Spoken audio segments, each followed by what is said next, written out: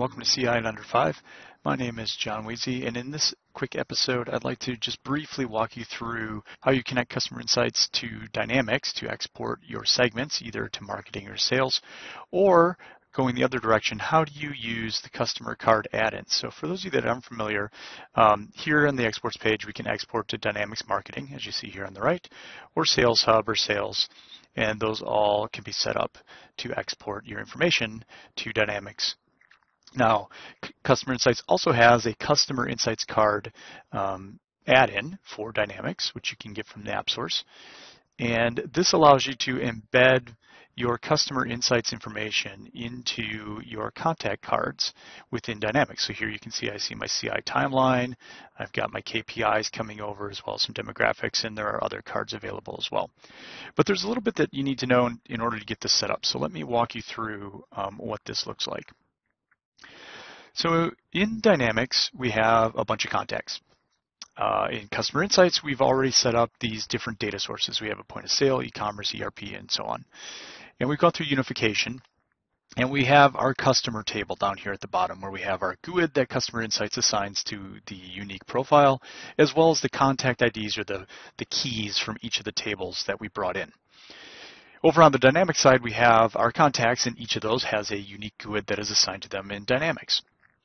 So to get started, we first need to create a new data source on the customer insight side. So we create a D365 data source. And then we need to connect and ingest those contacts out of Dynamics. So we make our connection, we bring those in, and we have them now in our D365 data source. So of course we need to go through unification. And unification will go through, and in the end we'll end up with our new customer table, which will have that same GUID, that customer ID, uh, customer insights assigns. But we'll also have this contact ID that came over from Dynamics 365, and that will be that GUID that is over in Dynamics.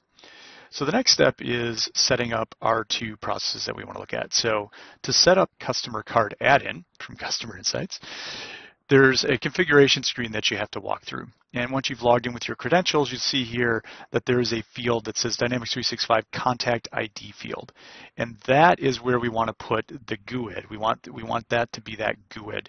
So in that drop-down list, you're going to look for something like this, System Customer, and then the name of the data source, D365 in this case, and then contacts, the table that we brought in, and then contact ID, that field that contains the GUID that came in from Dynamics. Because what we want here is we want the fields to match. We need to tell it, this is the field that matches the ID field that I have in Dynamics so that I can connect those users together in order for the card to show up. Then lastly, how do you get that export set up? So in the export setup, you again give it a name, you give it your address to your Dynamics instance, and then it's going to ask you again for this ID field. And here it's asking you, what is the field that I have in Customer Insights that matches the primary key, the contact ID field, in Dynamics 365?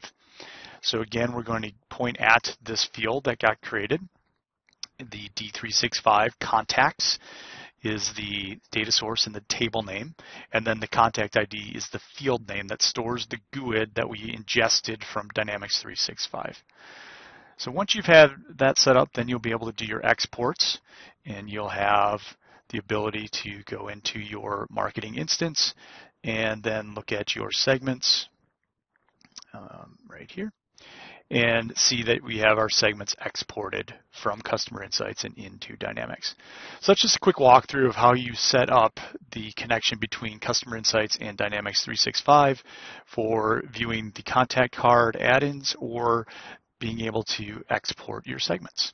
Hope you enjoyed this episode and tune in again for the next ones.